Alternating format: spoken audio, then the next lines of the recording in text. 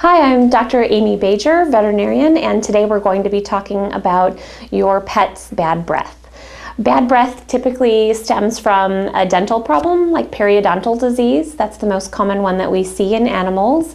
Periodontal disease uh, includes gingivitis or swelling of your pet's gums, as well as plaque or, and or tartar accumulation on your pet's teeth. Um, one thing that you can do to prevent tartar buildup on your pet is to brush their teeth regularly with a good doggy or kitty cat toothpaste and toothbrush and also to have them on a good quality diet, preferably a hard food. Um, bad breath can also be stemmed from abscess, tooth roots, or other infectious or infections in your dog's mouth. So you would definitely want to have your veterinarian check out uh, any smell that would be coming from your dog's mouth. Uh, we do have uh, several products that are out on the market these days that you can talk to your vet about as well to help prevent further buildup.